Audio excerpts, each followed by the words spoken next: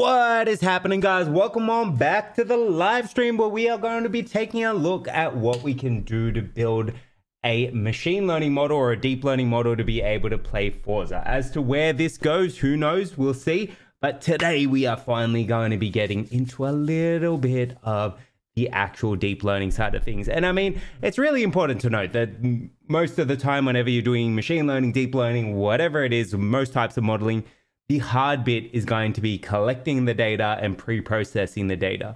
But if you cast your minds back to the last live stream where I suffered for about an hour, we've got through the majority of that pain. So we are going to be getting into a little bit of deep learning today. Ideally, this is the bit where I feel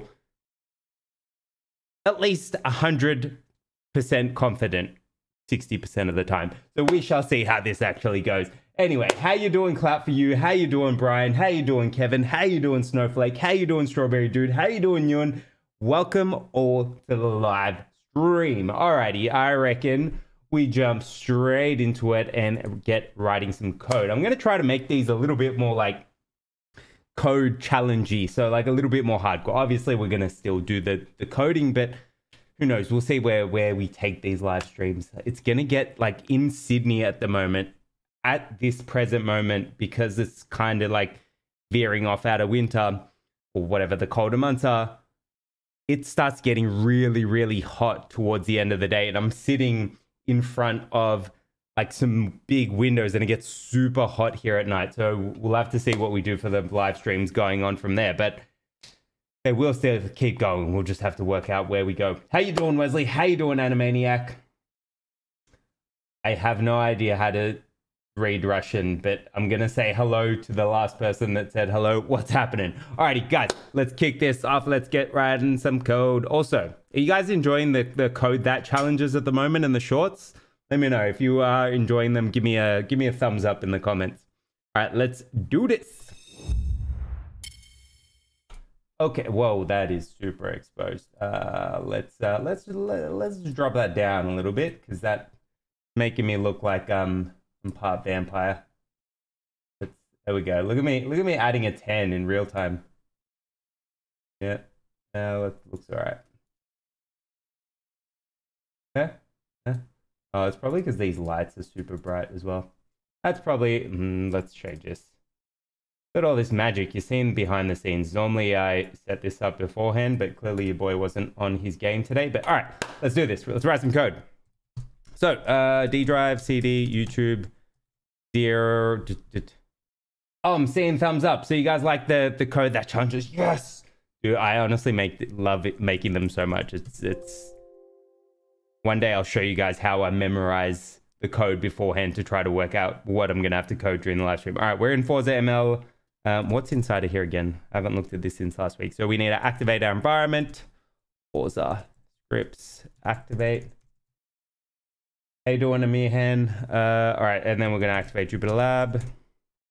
So the nice thing about from where we go from here is I've got a reasonably good idea of how to code up this neural network. We're, we're going to start with like a non... We're not going to be doing um, reinforcement learning. We're just going to try to build a baseline neural network to begin with. So we can actually run through this data pipeline. I hope the GPU holds up because we're streaming and we're doing deep learning. It's always fun. Let's run through all of this. Let's make sure it still picks up our data. Hey, Don Mohammed, what's happening? All that's looking good so far.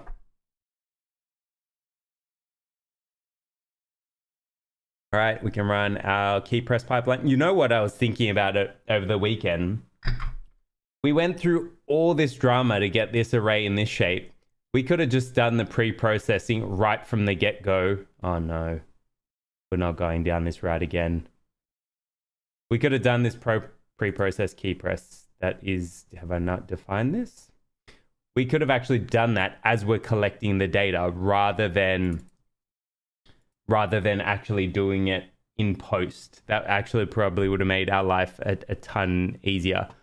Uh, okay, what's happening here? So dataset.map have we not read in our data? I'm guessing we've got rid of... All right, see, this is what happens, guys. All right, so this should be dataset equals...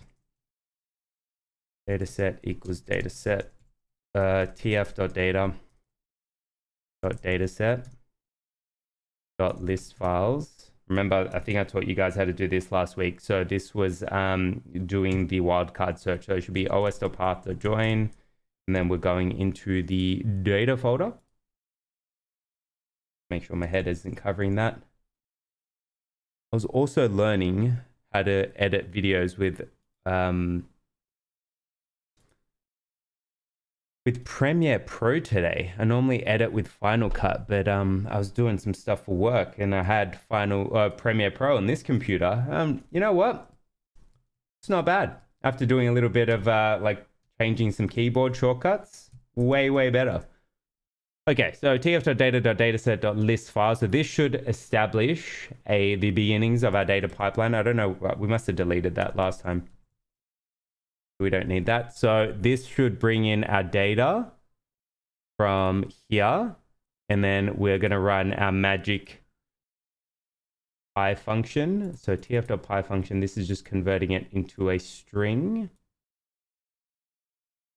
Oh, what have we done? No, this was meant to be so easy today. Pass is not defined. Oh, wait, hold on. We're meant to do it. I already had it down here. Okay. Ignore me, guys. It's going to be easy. Famous last words. It's going to be easy. Said no coder ever.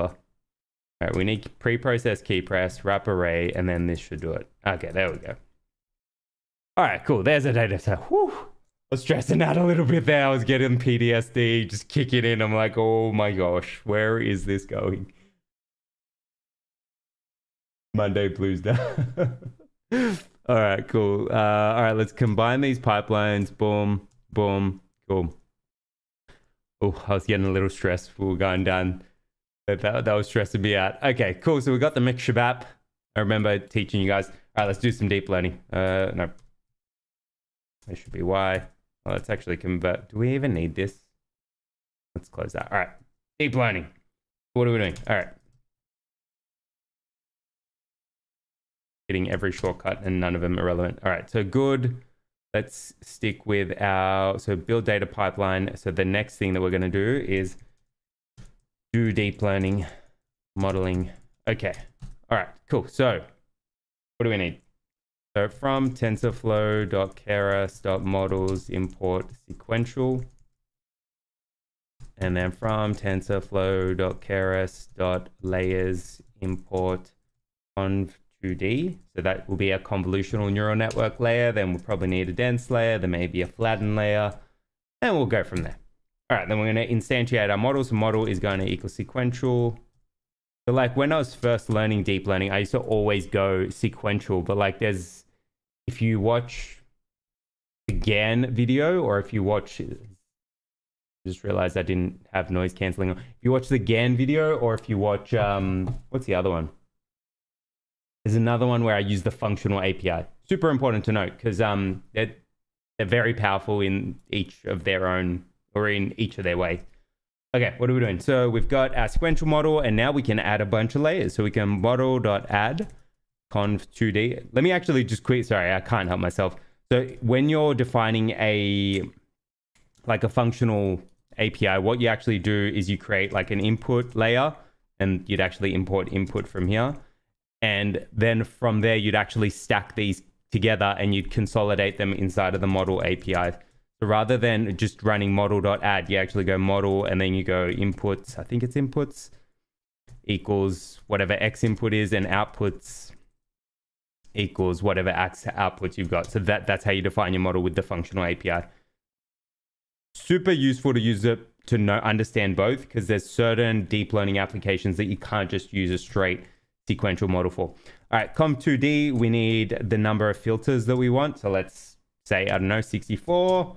And then we need, what do we typically need here? The, uh, the kernel size, which is going to be three.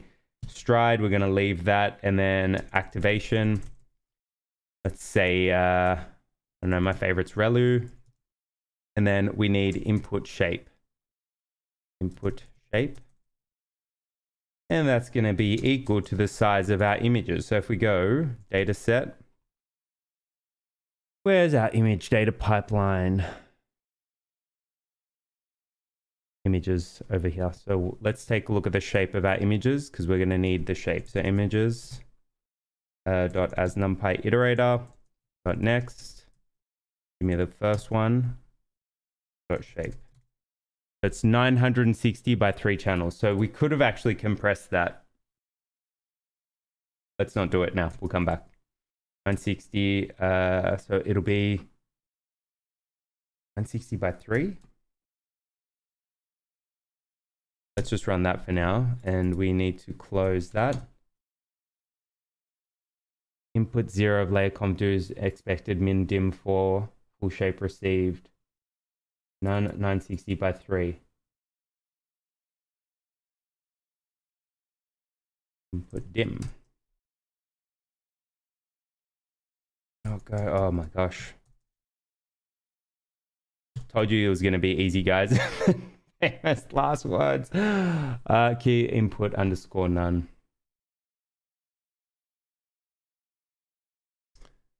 What are we doing? Input dim. That should work. Oh my gosh. All right, so we'll look conv2d.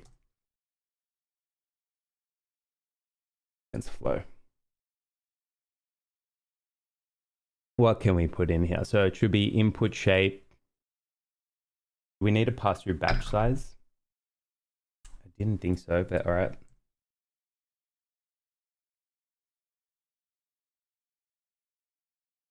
Okay, maybe that, there we go. But is that not going? All right, let's just build based on that. Model dot add and then conv2d. So let's stack a bunch of conv2d layers. So I don't know, 128.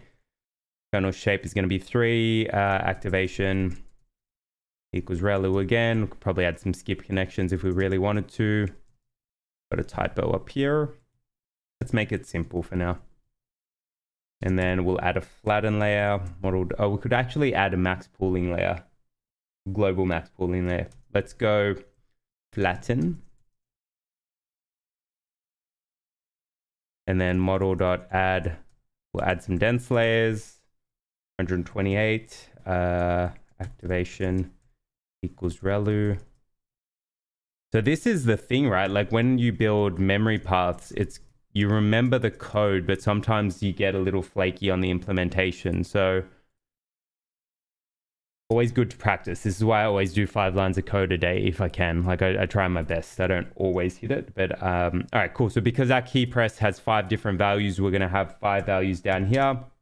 Our activation here because we want a um what do we want? We're going to do a multi-class classification model to begin with. So our activation is going to be what is it softmax wait is it softmax yeah.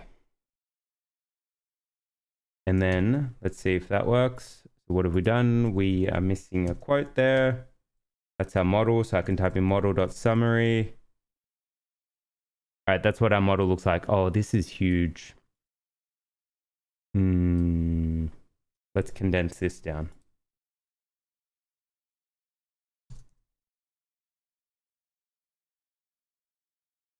And what have we done? So gets rid of that. Up, still huge. Oh, we need to re-instantiate our model. Let's grab this, put it here. Boom. Yep. Still got a ton of parameters. So let's increase our kernel size. So we'll go, let's go five. Actually, let's go, yeah, five now. Five, four, three. Probably two.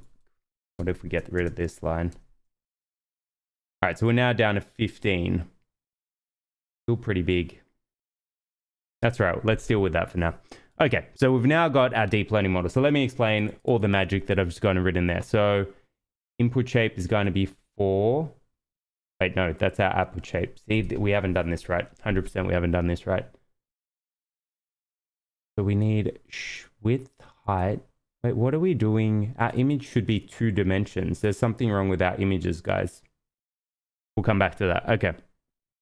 Because it really should be height by width this is why I was stressing out width by channels. We have only two channels when we take a look at our image data set. If I type in images, images, we're 960 by 3. So that means we've cut out a channel somewhere. That is my, oh, we've cut out, yeah, we've condensed something somewhere. Let's just quickly check the chat because I'm going through this hyper fast today because your boy wants some pizza. Um, Kushagra, love you. You are the reason I'm completing my internship project. Yes, you go crush them, dude.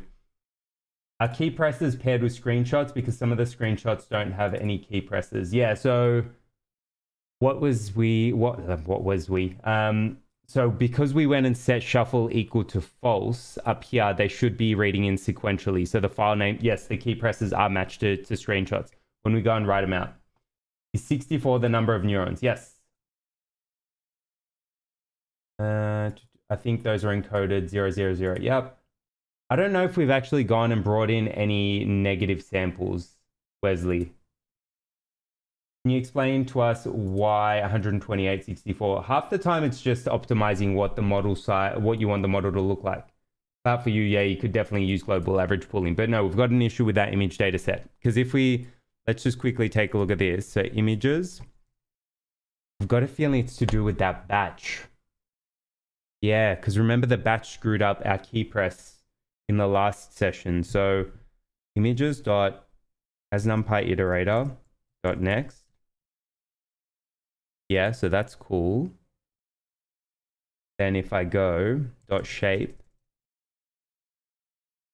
Right, so take a look at that. So we've got 540 by 960 by 3. But when I go and batch it, over here, Let's take a look at x. x dot shape. 8 by 540 by 960. Wait, hold on. So we're good. Your boy's losing his mind. Len x. Oh, it's because we're grabbing... There you go. Okay, so I was... Because this is unbatched. So, all right, there you go. So it should be 540 by 960 by 3. This is going to make our neural network even bigger now. Boom. Okay. Yeah, now it's going to be a monster. Take a look. It's pre-processing. I'm getting the feeling that we're going to run out of memory. We're already at the max. Out of memory. All right, guys, just fun fact. If ever you get this error that you can see on the screen here, OOM when allocating tensor with shape blah, blah, blah, blah, blah, and type blah, that basically means that you've run out of memory on your GPU if you are using your GPU. So one thing, let's just simplify this a ton. So if I get rid of, well, that layer, let's get rid of this dense layer here.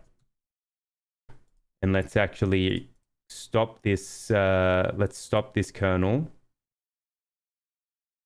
Uh, we can actually just go kernel, restart kernel. That should free up some memory.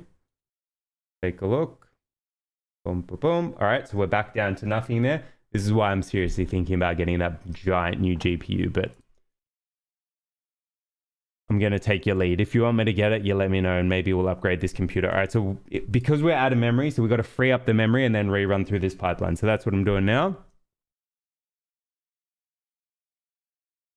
Okay, that looks okay.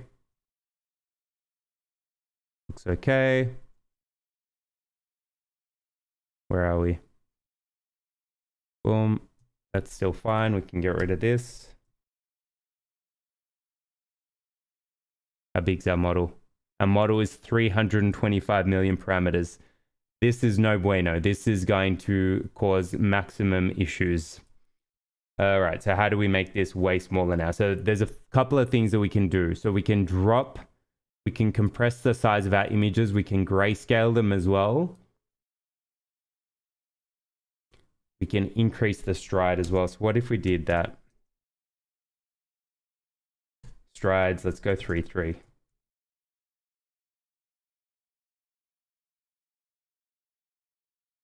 How big's our model? All right, so we're now down to 4.1 million. Still big, but it's definitely working. So stride, let me explain what stride does. So stride basically, so if you imagine, let me jump back over to, actually, let's, let's bring up the breakdown board. Bring on out the breakdown board. We haven't done the breakdown board today. We've got to do it.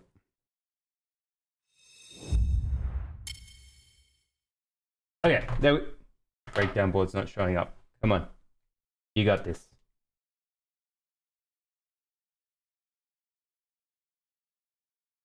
Have I gone and unplugged something?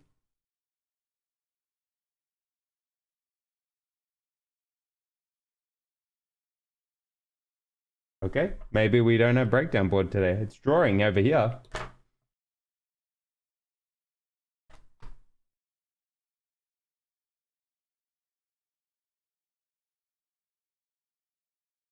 But you thought this uh, this tech stream channel was just always to work? All right, clearly breakdown board doesn't want to work today. Anyway, so basically, let me just jump over to the chat then. No breakdown board today. Yeah, I know. All right, so basically, the stride is how far. So if you imagine your convolutional neural network has got these little filters. So imagine this is a filter, right?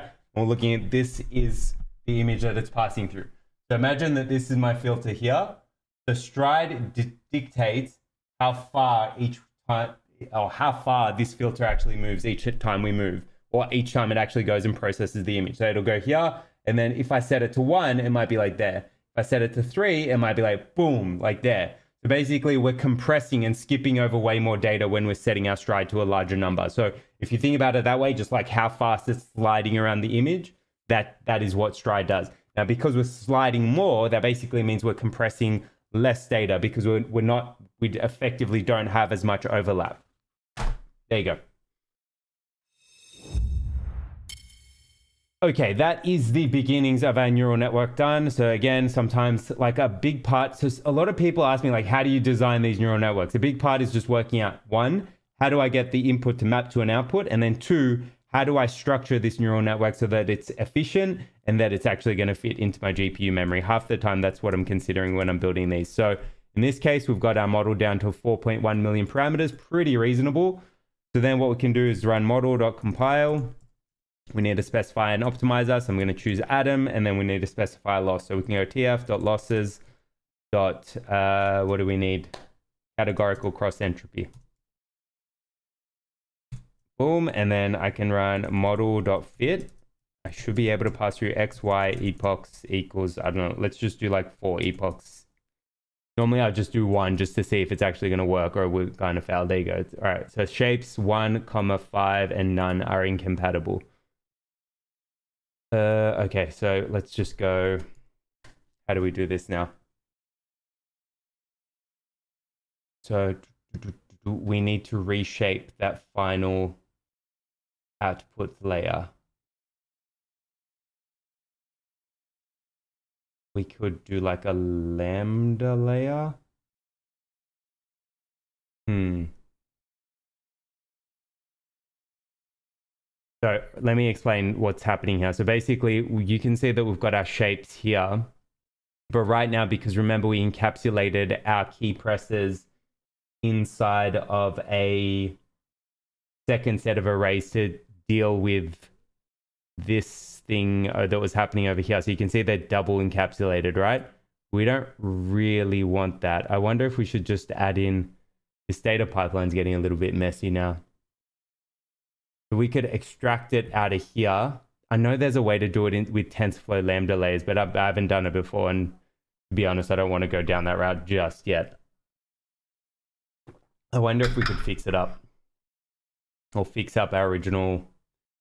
So if I drop the wrap array function, is this, all right, so that looks okay for now. If I go and batch,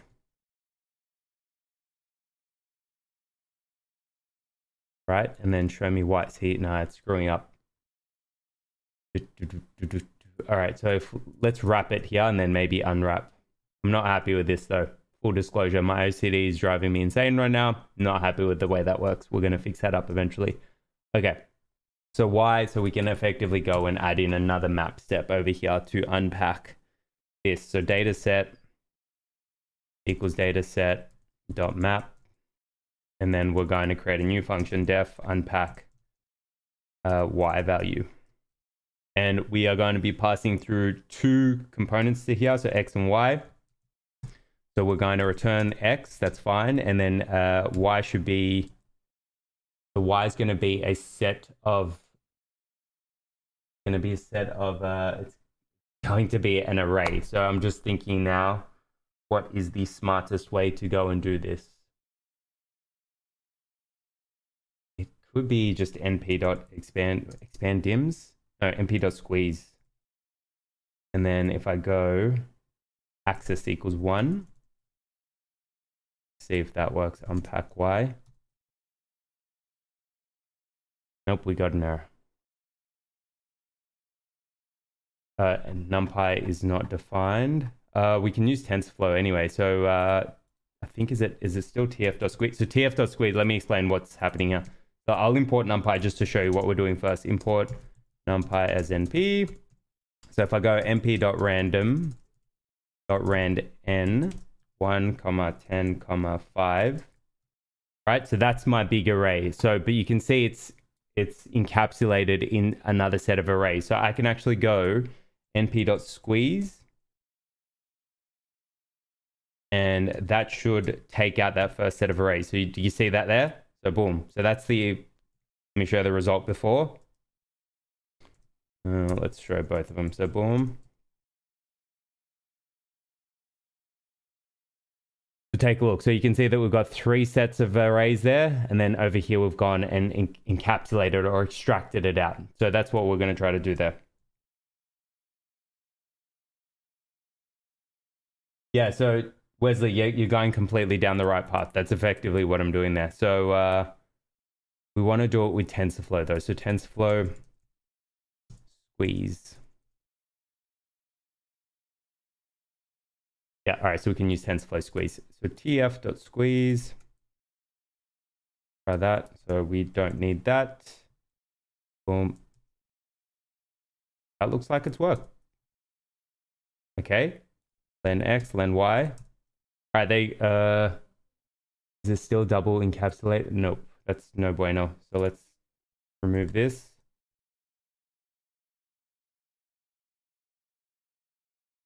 I think we need to recreate the data set. Let's just grab this. Recreate that. Okay, there you go. So you can see we've gone and unpacked it now, and that's effectively what we want it to look like. Cool. So if we go and train, maybe. Cross your fingers, guys. This is looking promising. The only thing that I'm thinking is that maybe we're out of memory on the GPU. Woo! We got it! Take a look. So we've effectively gone and fit one step. Loss is terrible because we trained for one epoch, but if we went and trained for, I don't know, let's train for like 100. Actually, we can set verbose equals to true we should be able to see all the logging. Is it inside of here? Invalid key arguments verbose. Is that verbose? I can never remember what it is. TensorFlow. Compile verbose. It is verbose. Oh, it's two. Sorry, you don't pass true. Verbose equals two. Invalid keyword argument. All right, nope. I'm pretty sure we pass it to the compile function.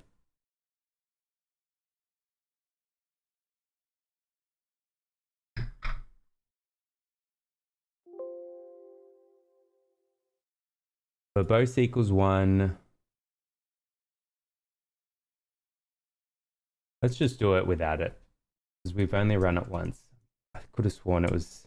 All right, there we go. We're printing it out. But there you go. Look, our loss is decreasing. It is... That is not good. So I've got a feeling our data is crap right now. All right, but we've at least prototyped a model. There's something super weird going on here.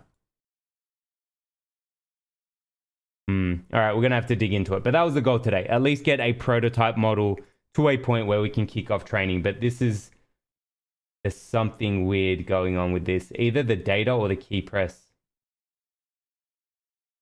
Softmax is the appropriate. What's the softmax function look like? Softmax. Uh, no, hold on. It's not meant to be a softmax I'm trying to think of the activation function now. TensorFlow activation. Uh, wait, wait, wait. Activation. Yep.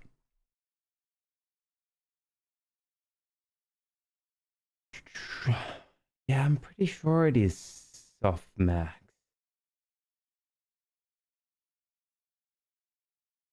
Hmm. Someone earned their pizza. Hell yeah, I did. Anyway, we're going to fix this tomorrow. Oh, yeah, we'll do it tomorrow. But that at least gives us our initial model. I'm not happy with there's something wrong here that we're going to have to go and fix up. Either the loss function or the final activation layer. We've got to go and double check whether or not that is appropriate. But uh, and we also don't have a ton of data, so who knows where this could be learning from. Like we've got we've got eight batches and then len data set Five. So we've got literally what 40 different samples. So it's nowhere near enough data to actually get an appropriate model. But that is the beginnings of our deep learning model. We are going to be cranking this out and if, uh, I guess fine tuning from here. So this is sort of how I build, right?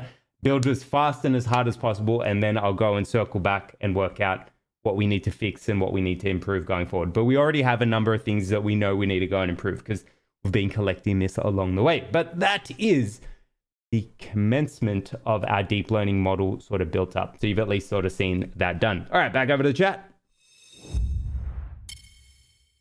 Hell yeah, Nick earned that pizza. Thanks so much, Rapunzel. Um, so Wesley, so we could remove one dimension from the key presses with NumPy. Yeah, so we I did it with TensorFlow because that's best practice when you're building TensorFlow data pipelines. Bruno SPFC, 4 a.m. in Brazil. Let me make my coffee. Kevin, so no small question, Nick, small question, not relative to this project, but to the sign recognition tutorial. I tried to use your tutorial for emotion recognition based on the video using MediaPipe, but I don't know if my data is bad or MediaPipe is not the right solution. For emotion type stuff, I think I'd actually just do like a face detection model and then a classifier over the top of it. You could do it with the key point model, but I think you'd actually need quite a fair bit of data. Um, that's just something to keep in mind yeah. All right. Are there any questions that I missed? Um, global average pooling. I think we got through that. Why not approach the problem by phases? Drive forward, turn left, turn right, brake, close the line. So that that's an example like multi-step. Um, oh no, just like Gran Turismo licenses. So, so that will be like skill-based learning. So you'd probably be using. Um, I'm trying to think what what the term for for it was. I talk about it inside of the Doom model. It's it's a way to uh, curriculum learning. It's called curriculum learning. So basically, you level up and teach it progressively different steps. No breakdown board. I'm gonna go breakdown board broke down. Yeah, I'm gonna have to. to breakdown board's clearly having a bit of a cry uh, right now. It's right here. I can see the iPad on. It just. I know it's having a bad day. I, will give it a break. It's it's a Monday. It, it we'll we'll get it for tomorrow. King Luffy, YT from India, what's happening, man? Thanks so much for tuning in. All right, guys, I think if we got no more questions, thanks so much for tuning in. I'll catch you in the next one, probably tomorrow, maybe some shorts, maybe some more code that coming along. Catch ya. Peace.